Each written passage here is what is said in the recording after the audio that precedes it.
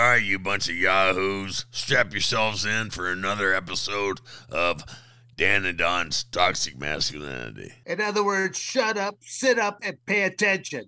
And welcome back to another episode of Toxic Masculinity, where we are here to entertain, offend, defend anybody and everybody. So if you are a little, uh, you know, uh, on the sissy side, better put on your man pants here because you're in, you're in for a, another big induction of mascu- toxic masculinity with my co-host here, the Predator Don Frye, yours truly Dan the Beast Severn, and we have the special guest here right now. I'm not certain he needs actually probably three or four different introduction because we have, you know, I when I first met Sybil, him, Sybil, I- make it fast, right?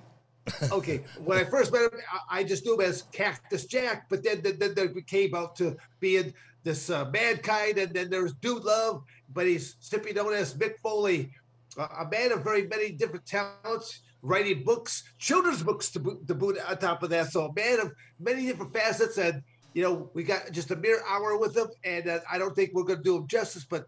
Mick, it's it's uh, fantastic to have you in the house there with Don and myself. Well, I appreciate that, Dan. Uh, nice introduction.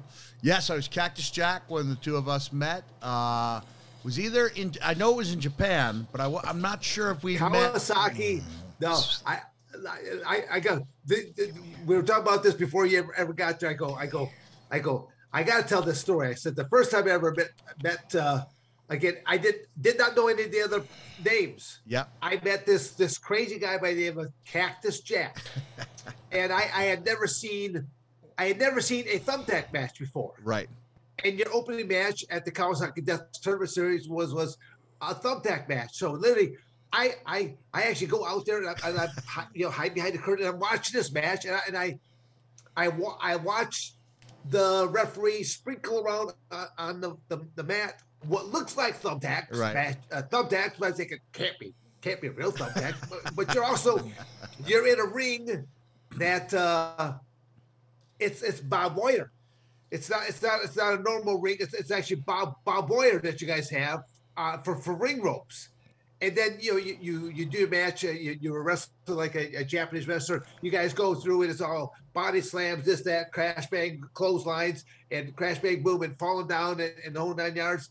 And I'm thinking, okay, match is done. So I go back in. I sit down in my seat, and, and you come in, and you you always wore like a shirt. Yeah. Yeah. And so a couple of the young green boys, they come out there and they, they kind of pull out uh, pull out a shirt, and now I start hearing, you know, things that metal things that are hitting the floor, and when one or two of them rolled over towards me where I'm sitting, and I bent over, picked it up, and I'm going, and I'm, I think, my God, these are real. and I remember the very first words I ever said to you, I like I, I said like, "Hey, cactus, how often do you get a tetanus shot?" You pause for a second, go, every year, Dad. Every year, I think. well, at least he's being safe about it. He's being safe about it. So that was literally the first interaction I ever had with you. Was was uh, making that comment, and, even by later that night, when you and Terry Funk, you guys tore down the house, but then both of you still had to go to the hospital because you guys Yeah. got third degree burns, second, up, second degree. this, that. Second degree. Okay, sec. Okay, sorry, I, I was embellishing it just a little bit there. Okay, but no, it was. But but even even the following day, because At the we're airport. departing, Yeah. the, we- we're departing the airport, and you've got on a T-shirt, and you still have like little red dobbins, drip, drip marks, because of all the puncture holes on your body. You're seeing this white T-shirt, and you see like li- li- like a little blood coming out here, a little blood coming out here. you, you tore your ear up. Bad case of acne, got this big- you got this big thing of gauze on the side of your head, and then you got this this paper bag, and I think you almost look like a terrorist right now because you got all this hair, and you got all this gauze, and, and you got red doblets, and you got the paper bag strapped to your chest. I'm thinking, you know, it just it was it yeah, just- that was that was some night. Uh, that was I've thought of like a one act play just on that one night because everything about it was just so surreal. So it's Dan's fir- first day in that company. When I was asking where we met, I knew we'd done the Japan tours together. And I knew your first tour was uh, with the Kawasaki Dream Tournament because Dan's the hottest free agent in, in all of wrestling. And all of a sudden he lands at IWA Japan. Like none of us could figure out what's he doing with us. We're the we're the blood and guts guys. You know, we're the garbage wrestling. You could have written, you could have written your own ticket, but uh, we were happy to have you there. But okay, but the okay, the funny thing about it is okay, there was two rings.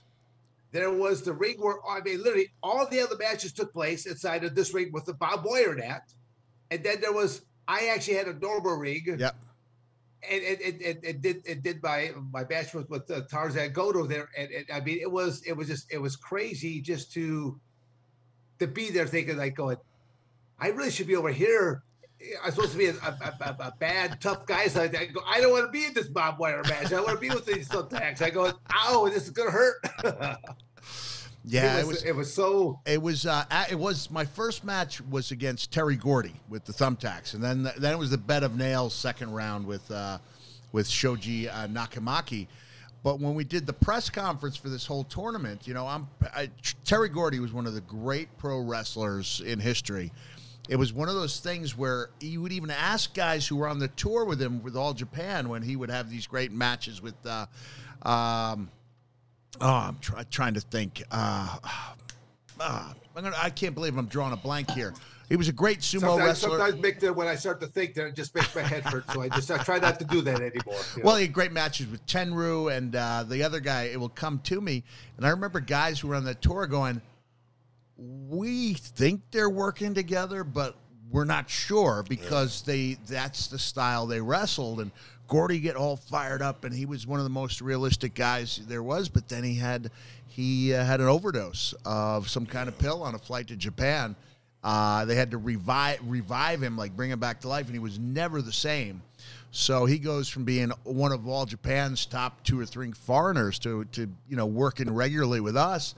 I cut my promo and I say, you know, I can't. I don't even know if I can do Cactus Jack anymore. But uh, you know, Gordy, I'll give you all the props. You used to be one of the best in the world, but now you're stepping into my home. And what are you going to do when you come face to face with ten thousand thumbtacks?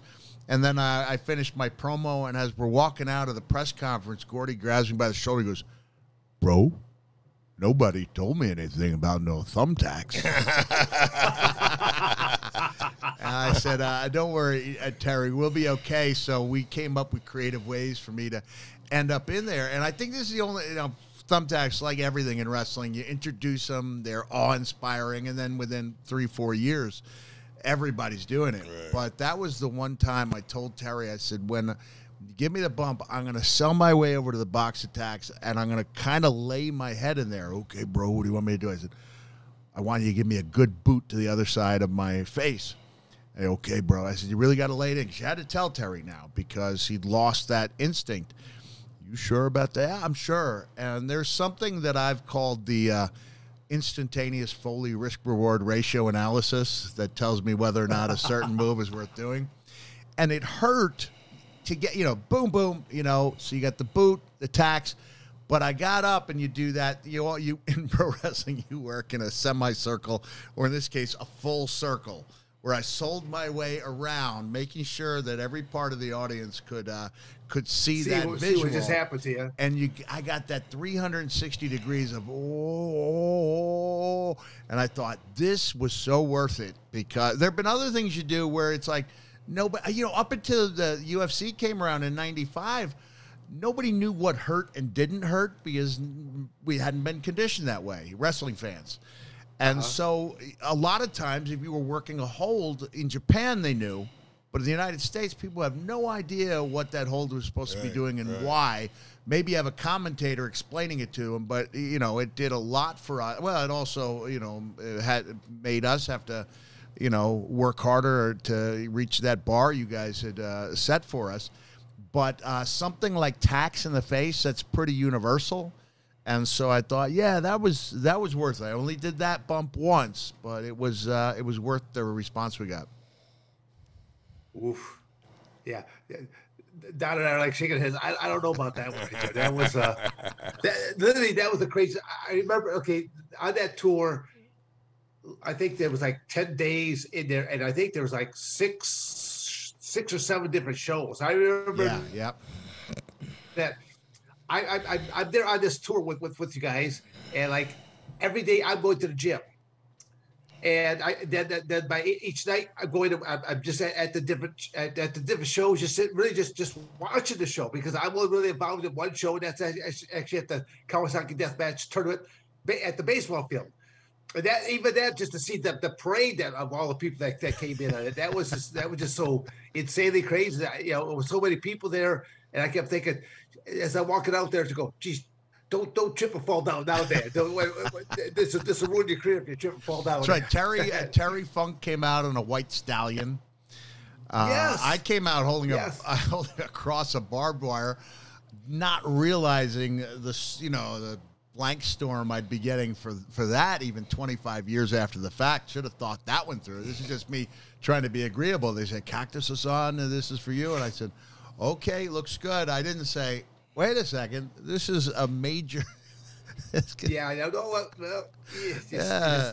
at, at the time you sit- you look at it as, work and you're trying to you're trying to be as, as a, uh, obliging as one could possibly be. Now, okay, but uh, the, the funny part is like there was like one you guys had like one day off, and I remember you coming into the you came into the gym. And, and you- you're sitting there and you're just watching me, but you're being very quiet. And you're just watching all the things I'm doing, stretching. I'm going through all my my uh, shadow wrestling and shadow boxing and Right. things of that nature. Just going through all the stuff, and then then then you finally you said, "Dad," he goes, "Would, would you show me? Will you show me some moves?" Yeah. And I and I I, I pause and I might go on.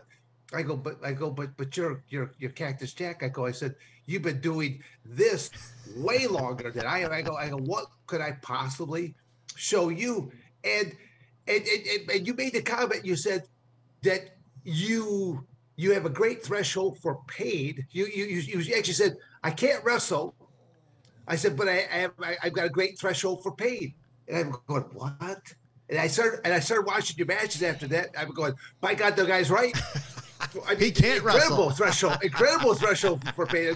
I would I wouldn't want to be a part of any of these matches that that you had. Well, you know what, Dan? I saw the writing on the wall based on what you guys were doing, and I knew that we'd have to start incorporating stuff. Now, I didn't know I was going to get the phone call from uh, Mr. McMahon a couple months after that uh, death match, and Mr. Asano was our boss. Sorry, we're leaving the, the, the Predator out here with nothing to Don't say. worry, I'm watching. Uh, uh, so I, I kind of felt like if I go back, um, and even even in the in the IWA Japan stuff, if I can incorporate a little bit of that, and the more of it I understand and can do, that even if I don't do it offensively, if I can work with people who do that, then that makes me an all. I wanted to be the guy that everyone liked to work with, who would walk away and go, all right, you know, like he, his stuff looks crazy, but he takes care of me. That was really important to me that I was somebody that didn't take liberties or it didn't cost anybody a day at work. You know, I wanted the stuff to be physical and look good, and I and I liked uh, when it was laid in. But uh, you know, nobody wants to have you know teeth broken or jaw broken or ribs or collarbone things that are going to cost you time away from uh, uh, from business. Yeah, I know you've I've asked this before, but again, I, I'm curious. When you look at your various characters, what was character? Take us through like chron- chronological order. Like what was was Dude Love the very first character that Dude Love was a, or- he was a figment of my imagination when I was 17 and 18 years old. Uh, was not rejected by a, a young lady who, who felt like the love of my life at that time. wasn't outright rejected, but she did call me the wrong name uh, when we uh, had the fir- our first kiss. You know, I had a lovely time tonight, Joanne. She said, "So did I." Frank. Well, at least you weren't in the middle of sex. Ah, yeah, when it could be when you're worse. having sex and your wife calls out the wrong name. That's not the voice of experience, is it? no, no, no. and so uh, I I went back to my dormitory, and uh, I'm not saying this is a healthy way to deal with uh, emotional pain, but I was like, you know, a lot of people when they can't uh, rationalize the pain they're feeling, they take it out in a physical way, which they can control. So I mean, that's a, you know self harming. That's really a serious deal. It's not as bad if you're me and you're just taking off from your uh, your bed onto a stuffed animal with a superfly leap. Uh, and that's where the story, the dude love story came in in, uh, in there. I created this wrestler that was everything that I wasn't, you know, self assured and cool and a hit with the women. Uh, And uh, so, dude was something in my imagination that I created when I was a freshman in college. And when I became, I was driving through here looking at all the strong cactus game.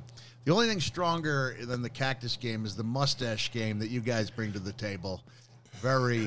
Are you growing a mustache? Are you growing a mustache? Well, you know, it, it, people can't see it as much because it's white now, but you know, I'll be damned.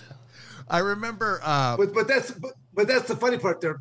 Just to, to pause for a second, because I, I always tell people that uh, I started coloring my hair at age 37. I, I was going prematurely gray at 37, and you know, I'm that's when I started my cage fighting career. I kept thinking, Yeah. I know psychologically thinking if you walk into a cage and look across and you see, you know, someone that's going getting gray hair or something like that, you're not going to be as intimidated if you color it dark and dastardly right there. Now I was like going, ooh, that's a little bit more intimidating versus white, you know. and there was so I, I that did that part famous. of the psychological. Dan, that famous quote when uh, you defeated Tank Abbott may have been the first loss that Tank suffered in UFC, and then you beat. You know, you had a decisive win several months later. But uh, they uh, they interviewed Tank, and he said he had a dream that he was mugged for 20 minutes by Freddie Mercury. Yeah, he, he felt like he was being yeah raped by Freddie Mercury. Yeah, that's exactly what he said. Yes. Yeah. and that's a match that I saw on the bus there, the IWA bus. So we were keeping up with everything. And when we going back to what you said about learning something, when I saw the Japanese magazines, you know, the rest the pro wrestling magazines covering what UFC was doing, I was like, oh, we're gonna need to pick up on this. And so I remember specifically you showing me the banana splits Banana split. banana yeah, splits so- because it was uh, and even even before UFC I wanted to do stuff that was as wild as possible and follow it up with something technical that nobody would ever expect. So I remember uh, uh, doing a number, uh, you know, pretty impressive for my, you know, by my standards in 1990 because I didn't have the look and the build, you know, to strike fear into people. At least not until I came back, uh, you know, heavier and uh, and uh, more um, with more experience in 91 but in 90 i was doing a pretty good job on this guy even dropped the elbow off the ring apron over the guardrail rolled him in so he was just about you know uh, comatose you know and then i rolled him up with a bow and arrow cradle and brought him backwards for the pin and uh, and jim ross of course you know made the most of that and so i thought anything that I can pick up that puts me ahead of the curve is a good thing. And so uh, I went to I went to the best source I could find.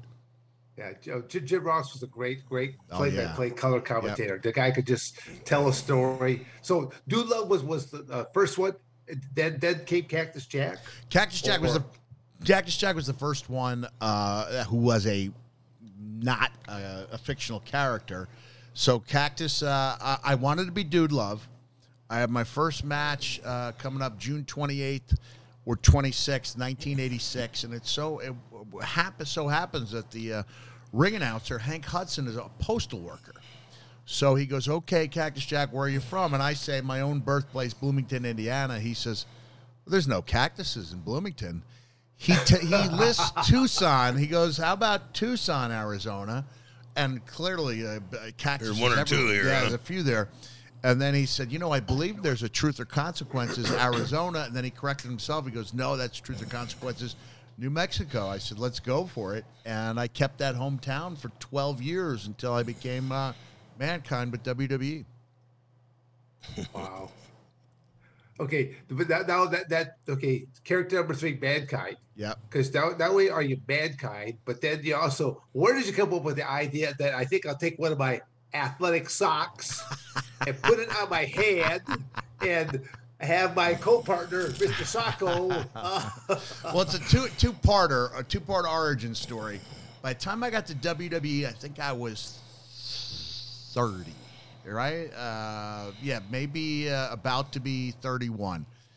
And the whole idea of having a finishing move that incorporated flying off the ring apron onto the the concrete was becoming clearly a worse and worse idea each time we went around. And besides, it wasn't a move I could do regularly at the non televised shows. So a finishing move should be something you could do to anybody, anywhere, at any time. Jim Cornette had brought up to me the mandible claw, and it had a great real life history in that uh, Dr. Sam Sheppard who was the guy that the, fugitive. the fugitive, right? Uh, whether he could not or simply would not go back to medicine, I don't know. But he became a wrestler in the southern. He worked the southern circuits for a few years, and he made up for his you know, lack of impressive physique with his knowledge of the anatomy. And he came up with the mandible claw, which is a nerve hold under the tongue uh, with the two fingers, and then you push up on the nerve right underneath the point of the chin, The chin. with your thumb. So it was never an idea of he's sticking that sock down his throat. But now I had two years with fans seeing this move work by the time I invented Mr. Socko, which was just a way to cheer up Vince McMahon in the hospital.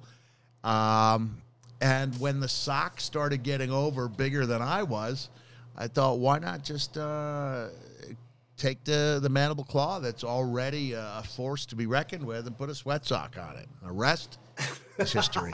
I've got a show, uh, you know, I've got a show here in uh, Tucson tonight at the House of Bards. Uh, by the time people listen to this, it's it's uh, it won't It'll be, be anything I can push. He'll be burnt to the ground. but I, uh, but I still 24 years later, I still bring sweat signed sweat socks.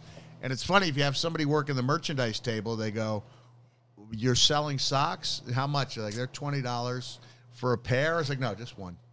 They, they, why would you not sell them in a pair? They, it's a need to know basis. Uh, yeah, you don't, Yeah, you don't no, need to I- know. I get no. That's that's, that's that's I think that's fantastic. I mean, again, just the creativity that you had for putting something like that together. And, and again, when, when you talk about that one episode when you came to visit uh, Vince in the hospital, and then also it's like, and guess who else came? you know, that was that was hilarious. Like I said, you you had a lot of fun with that that character, and I mean, and I you know, like you said, Mr. Socko was getting over bigger than what you were. Now Vince Yeah, that- Vince that broke was the point where character. He laughed at that, right? He, he no, he did. He didn't laugh till Oh, it was didn't? over. He was Oh. dead serious. As a matter of fact, camera zooms in on him. At that point, Dan, when were you in WWE? When what was your time? Um, like the I think that uh 96, 98 time Okay. frame. So if you had promos, you remember they wouldn't you, they wouldn't hand you an interview to learn. They would give you some bullet points and an outline. Yes. Uh, and I guess there were instances where they would s tell you exactly what they were hoping to get, but in this case, it was just I'm showing up in uh, the hospital. Vince, uh, of course, he knows I'm coming. The whole goal is you got it. You have to annoy him to the point where he kicks you out. That's all we know.